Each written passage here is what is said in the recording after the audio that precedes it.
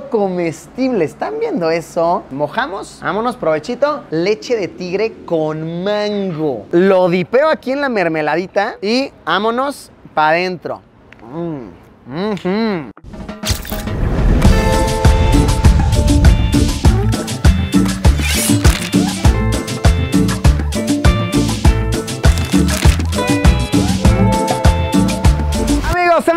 bienvenidos a un video especial de Luisillo el Gordillo. En esta ocasión vamos a ir a comer, vamos a ir a degustar, a devorar a todos los restaurantes en los cuales estoy involucrado. Tenemos de diferentes rangos de precios, diferentes rangos de complejidad gastronómica. La verdad es que me encantan todos los restaurantes, soy muy fan, me encanta presumirlos, invitar a la gente y tal vez les sirva para aquellos que lleguen a estar de visita por la Ciudad de México para armar una ruta, ¿no? Un tour gastronómico de los restaurantes de Luisillo el Gordillo. Aclaración importante antes de empezar, ninguno de estos restaurantes es 100% mío. Para todos y cada uno de ellos me he asociado con personas cracks del tema, de verdad amplios conocedores. No se diga más, comencemos. Estamos ahorita en la zona rosa, una zona muy, muy viva de la Ciudad de México. Y acá hay un local que está muy difícil que no te encante. Vamos a darle. El mero corazón de la zona rosa tenemos Deigo Ramen. Esta barra de ramen auténticamente japonesa. Es toda una experiencia venir aquí. Y la verdad el ramen está muy rico. Me atrevería a decir que en todo el país no he probado un ramen tan delicioso como el que se prepara acá. La técnica está en que es todo lenta cocción. El caldo del ramen puede tomar de 8 a 10, tal vez 12 horas, dependiendo del tipo de espesor que se desee alcanzar. Con este local llevamos ya eh, un año a la fecha que grabo esto ya un añito y contamos ya con dos sucursales. Esta en zona rosa ubicada en Hamburgo 70 y la de la zona Condesa ubicado en Chilpancingo 62. Estamos ya trabajando en nuestra tercera y cuarta sucursal así que pronto espérenlas y queremos eventualmente expandirnos a otras partes de la República. Bueno, les enseño, ¿ok? Les platico. Aquí es la pequeña zona de espera porque luego en los fines de semana la verdad es que viene mucha gente, cosa que está muy cool y hay pequeña zona de espera. Tenemos nuestra zona, ¿ok? De desinfección manal y en este lugar se pide todo con una maquinita. Entonces, le pones acá a comenzar, tienes todo tu menú, ¿ok? Zona de entraditas, a mí la verdad aquí me encantan los sedamames, son deliciosos. Y vamos a pedir unas guiosas también, ¿ok? Para mostrárselas también hay otro pollito muy sabroso. Y en ramen tenemos de un buen de tipos, ¿ok? De verdad hay un buen. Acá léanle chido, léanle sabroso. Si no quieren ustedes tardarse mucho escogiendo, escojan el que yo les voy a recomendar, que es el chashu, ¿ok? El chashu es muy rico, es muy sabroso. En bebidas tenemos todo tipo de enlatados y estas que son muy japonesas, los ramune, ¿ok? Entonces, vamos a pedir uno de esos, la verdad es que son muy ricos. Tenemos otro tipo de bebidas sabrositas. Terminar orden y puedes pagar con tarjeta de crédito o bien con efectivo. Ahí está, ¿ok? Sacas tu tarjeta y aquí te imprime, ok, tu ticket de compra y con este papelito es que tú vas a reclamar tu exquisito ramen. Por favor, muchas gracias, muchas gracias. Así se da la bienvenida. Escoges tu lugar en la barra, ok, ahorita la verdad tenemos poquito flujo, entonces miren, donde sea, acá nos sentamos, chido, a esperar tu ramen. Mientras lo esperas, esto es un hack que les quiero compartir que no mucha gente conoce. Tienes aquí agua para prepararte un té, ok, que esto es completamente gratis, entonces pides un tecito, por favor, un matcha, por favor, mi caballero. Muchísimas gracias. Agua caliente, ok, agua fría, completamente gratis, ok, lo repito. Entonces aquí, ñénguele, vean qué delicia, vean qué sabrosura. Uf, tu machita sabroso. Ah, De verdad que me encanta.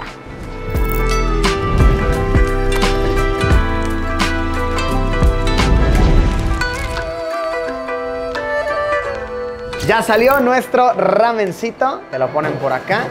Ah, desde el aroma, no, no, no, es riquísimo. Acá están nuestras guiosas, acá están los sedamames y todo lo, todo el utensilio, toda la servilleta, lo agarras de acá. ¿ok? Entonces tomas tu servilletita, tomas tu cucharita, tomas tus palillos, vámonos. Entonces, chashu ramen, básicamente el caldo es de cerdo con pollo. Tenemos nuestro tocinito. Vean este trozo de carne tan jugoso. El Naruto, obviamente, tiene su huevito, tiene su alga, tiene su bambú. Y a ver, eh, se lo pueden comer como quieran, ¿ok? como gusten. Mi truco, que mi técnica, que alguna vez me la enseñó un carnal en el mismísimo Japón, es con la cucharita, ¿ok? Agarramos caldito, una buena cantidad. Después de eso, agarras fideito. Y lo que vas a hacer es que vas a situar el fideo en el cucharoncito así. Entonces, cuando lo succiones, vas a tener un poco de ambos. Mmm, wow, tenía un rato sin venir a este. Es riquísimo. Y a la par vas mordiendo tu tocinito mm, y los demás ingredientes. De verdad que es una combinación celestial. Por cierto, este lugar es 24 horas, ¿ok? Entonces pueden venirse después de la bebedera, después del trabajo, salieron muy tarde, 24 horas, está abierto y es el concepto que queremos conservar para todos los demás. Bueno, vamos al que sigue.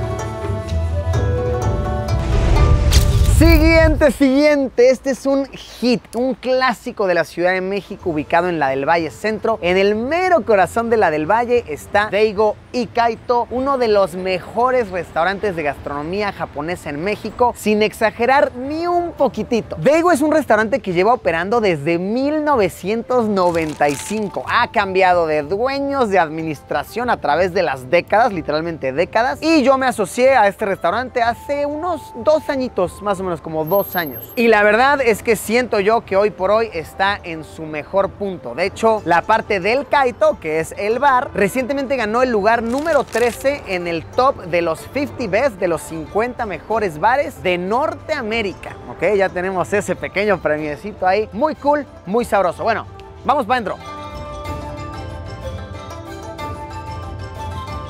Este restaurante es bastante grandecito, ¿ok? Pueden elegir sentarse afuera en la terracita junto con los peces koi, acá en la barra de sushi, que la verdad está bien cool, en una de estas mesas o bien también en nuestra mesa más especial, llamémosle, que es este tatami. Tal como en el antiguo, hermoso Japón, esta luego la tienes que reservar con tiempo, porque la verdad sí suele estar un poco cotizada, sobre todo en los fines de semana. Ah, y te sientas acá, ¿eh? Como en el auténtico Japón, tráiganse el sashimi tráiganse los nigiris, tráiganse la carnecita Kobe. Ah, eso es importante mencionarlo. Somos de los pocos restaurantes en Ciudad de México que sirven carne Kobe. Pero la verdad, mi zona preferida para sentarme es en la parte de arriba. Como que se me hace que tiene otro tipo de ambiente, como más, no sé, más cool, un poquito más oscurita la iluminación. Vean esta belleza.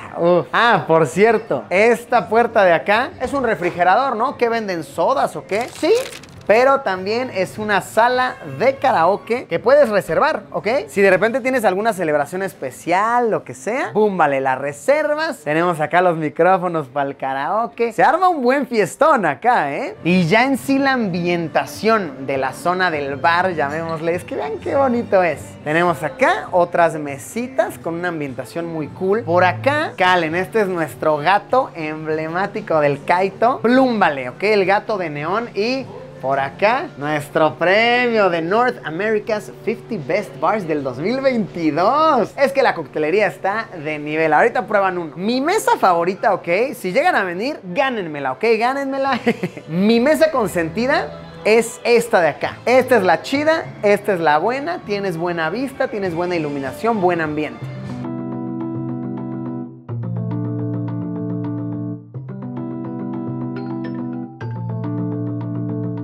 Pues me pedí algunos de mis consentidos aquí, aunque el menú es muy extenso. Ahora, ojo, venir a comer al Deigo es un poquito costoso, obviamente depende de qué es lo que pidas, pero si vienes y te pides que si la jaiba de concha suave y el nigiri con kobe y el kobe con oro comestible, pues sí te puede salir una cuenta carita, ¿ok? Aunque créanme, vale por completo la pena. Quiero enseñarles la coctelería. La coctelería aquí, como les digo, es ganadora de premios. La firma es que todos los cócteles tienen sake, ¿ok? Este de aquí, vean, el Japanese Sailor, el marinero japonés. Me encanta, ¿eh? Viene como en su cajita así. Mm, es una delicia. Este otro es uno de los consentidos de la casa, el maneki. Este tiene matcha. Ok, miren, se sirve así con su poke. Mmm, es súper rico. Entre otros de los grandes consentidos está, por ejemplo, el Pikachu. Y de repente hay temporadas de cócteles especiales. Recientemente tuvimos los cócteles especiales de Sailor Moon. Ahorita se viene una temporada de cócteles especiales tematizados como Dragon Ball. Entonces, sí, si a ustedes les gusta la coctelería, es un gran, gran sitio. Ahora, de comida, yo me he pedido. Uf, este es uno de mis clásicos cada que vengo. El sashimi de salmón corte grueso. Pueden escoger dos: uno canadiense o uno de Nueva Zelanda. Yo me suelo pedir siempre el canadiense porque es el que es un poquito más barato. Ok, agarramos aquí, ponemos nuestra soyita. Ahí está. Agarramos nuestro sashimi. Para este sí se requiere una habilidad más experimentada con los palillos. Es resbaloso. Mmm, es que qué frescura, qué delicia. Por supuesto me he pedido también 100 gramos de carne Kobe. Ok, este es Kobe como tal, nada de que Wagyu, que Wagyu australiano. Ok, son muy buenas carnes, sí, pero esta es la Kobe auténtica. Miren ese marmoleado. En alguna ocasión hice un video aquí mismo hablando sobre la carne Kobe, por si gustan informarse. O también pueden irse a ver a Oscar de la Capital, ese brother tiene un videazo explicándolo a la perfección. Ah, pues lo grabó aquí también, ¿no? Sí, lo grabó aquí también. Y lo que nos diferencia es que nosotros lo servimos con oro comestible. ¿Están viendo eso? Meme, Nusret, ¿quién eres, carnal? Aquí, aquí también te manejamos el oro comestible. Y se sirve, ok, una de nuestras firmas es que te traemos la parrillita a la mesa, que es una parrillita de piedra. Entonces, vean, ¿cómo se recomienda es? Agarras la carnita, la pones en la parrilla. Idealmente lo dejas solamente 5 segundos de cada lado. El chiste es nada más sellarla Ahí está. 1, 2, 3, 4, 5. Aunque, sinceramente, yo soy fan de dejarla un poquito más. Como que a mí mi carne sí me gusta un poquito mejor cocidita. Ahí estamos. Y una vez que alcanza la cocción que deseas, ok, agarramos acá. Le echamos tantita pimientita aquí. Recién molida, dijera el buen Oscar. tantita salecita. Y vámonos para adentro.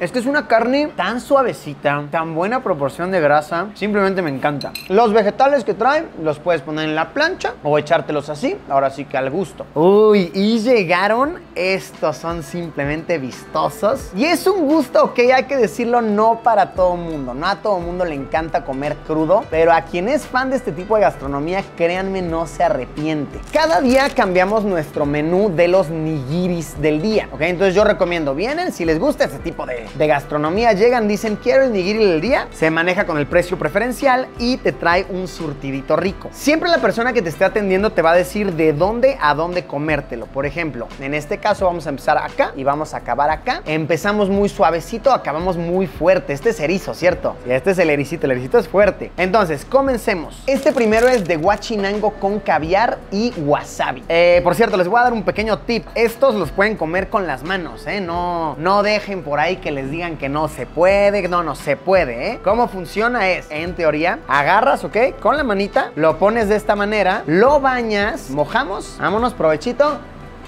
Un pescadito muy suave. Mmm el caviar encima le da unas notas saladas ricas. Y ese wasabi, un picazón, pero rico, no excesivo. El que sigue, chequen esta belleza. Este es sardina, ok, lo que estamos viendo es sardina. Y encima tiene cebollín con jengibre. Este yo creo que sí va a estar mucho más fuertecito. Bañamos, adentro. En efecto, como lo supusimos, este es más salado y esa cebollita que te deja un aliento listo para dar unos besitos. Siguiente, este tiene akami, ok, que se trata del corte más magro del atún y encima, uy, esto va a estar rico, es una preparación de trufa con tinta de calamar. No, no, no les digo que aquí los y las chefs se ponen, pero en otro nivel. Prochito. Mmm. Muy suavecito. Siento que ni siquiera tengo que masticarlo. Se deshace en mi boca y esa trufita es evidente. Este otro no es completamente crudo, ¿ok? Este se le pasa el soplete ligeramente, tenemos para sellarlo. Se trata de callo de hacha y encima tenemos yuzu, que es como un cítrico picantito. De hecho, con el poco yuzu que trae ahí, yo creo que no, sí nos va a enchilar la boquita. Vamos a ver. Mmm. Ujú, Sí, sí, pica un poquito. Me encanta el efecto que le da el soplete que le pasan, sabe como humeado. Mmm, brutal. Y por último, este va a estar fuerte. Este va a estar muy salado, yo intuyo. Tenemos erizo con hueva de salmón encima. Vean qué ricura. Comenten abajo si ustedes son de este tipo de comida o si realmente no les gusta, no les llama la atención. Se vale, ¿eh? A mucha gente no le gusta la cocina así cruda. Yo la verdad soy fan, pero no en exceso. No podría comer diario así. Provechín. Este es bien salado. A mí la verdad este no me gusta tanto, pero es un gusto adquirido. Riquísimo. Cerramos con un merecido saquecito, un vino de arroz. Ah, por cierto, hay postres. El, todo el menú es riquísimo, solo que si enseño todo, ahí se nos ve el video entero. Pero sí, es riquísimo, es delicioso. Vamos al que sigue. Kampai, salucita en japonés. Sigamos degustando.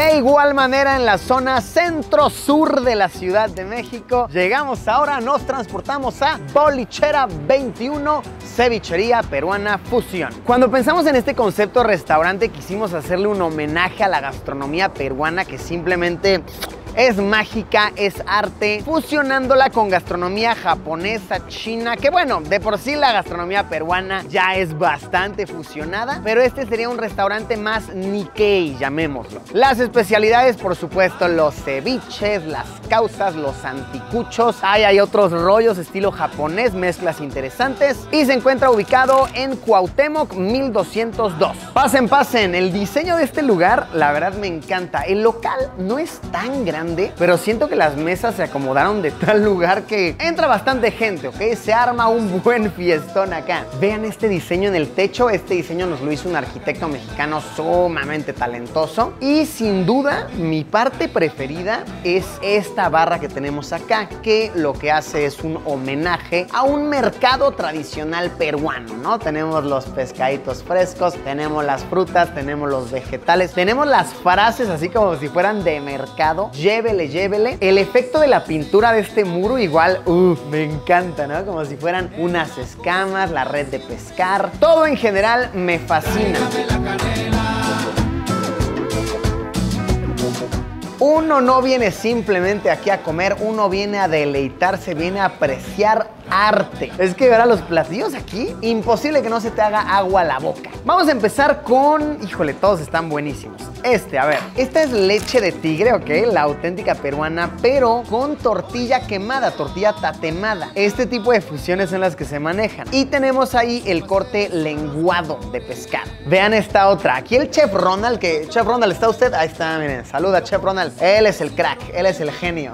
Le gusta hacer combinaciones eh, con la leche de tigre. Por ejemplo, calen esta, más tropicalona, leche de tigre con mango. Ok, el atuncito ahí selladito. Esta otra es la causa peruana. ¿Ok? Así auténtica, esta viene rellena de camarón. Es que no, no nada más es el sabor, es la presentación. Calen esto, los huevitos cortaditos, el tomate. Este de acá eh, son los anticuchos, ¿ok? La banderilla podríamos llamarle, es el auténtico peruano, ¿ok? Viene con la salsa anticuchera y con chimichurri encima, ¿ok? Esto que vemos acá son papitas y este es un ceviche tradicional, ¿ok? Tipicazo de pescado blanco. Ah, por cierto, aquí obviamente venimos manejándoles la Inca Cola, tenemos la cerveza cusqueña, directo del mismísimo Perú. Y también tenemos acá coctelería buena, obviamente muchos cócteles con pisco, vénganse por un buen pisco sour. Pura cosa peruana, pura cosa deliciosa. Ahí lo tienen, la bolichera 21, sin duda una excelente,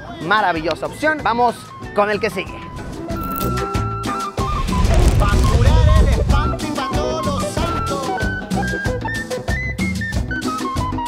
Y por último, por supuesto, no podían faltar las deliciosas, exquisitas hamburguesas fast food. Este no es como tal un restaurante, pues todo el concepto de fast food es más bien que sea comida para delivery. Que lo pidas desde apps, en Latinoamérica tenemos alianza con Rappi, en España tenemos alianza con Globo y te llegue hasta tu hogar. Por cierto, fast food lo pueden pedir en Colombia, en Perú, en México y ahora en España. Y uy, uy, uy, se viene ya el restaurante físico en España. Eso nos tiene muy emocionados. De cuando yo grabo este video estamos a días, de verdad, días de la apertura. Eso me tiene, miren que flipando. Pues bueno, que nos preparen una buena burger, un buen malteadón también, ¿por qué no?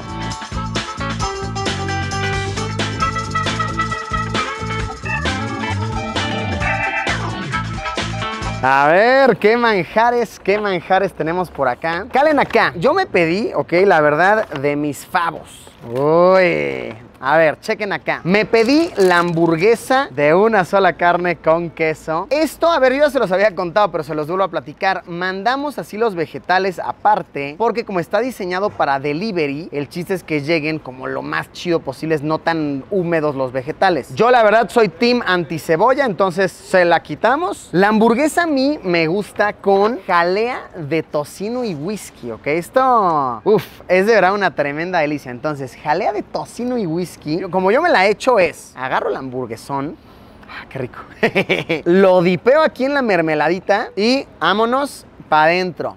Mm. Creo yo creo que le da un sabor peculiar es obviamente la cocción de la carne y que es con pan de papa. Entonces se lo hace como diferente, le da su, su modo. Unas papitas, claro que sí. Mm, provechito. Y calen acá. Para bajar el hamburguesón me pedí una malteada. Manejamos tres sabores de malteadas. También hay varios postres. Repito, si hacemos todo el menú se nos va todo el video. Este es de mis favoritas. Es la de chocolate con aguacate, pero hay otra de chocolate con maní crocante y otra de vainilla con dulce de leche. Brutal las tres. Salucita, provechito.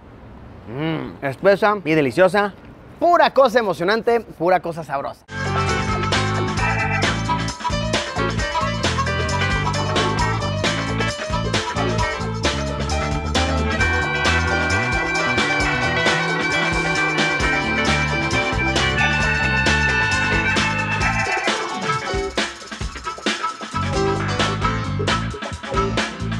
Pues amigos, amigas, ahí lo tienen el tour de restaurantes del Luisillo El Gordillo. Si llegan a estar por Ciudad de México, no duden en hacer la ruta gastronómica para llenarse sabroso, a gusto. Muchísimas gracias por haberme acompañado. Ya saben que nos vemos como siempre en unos días con un video nuevo.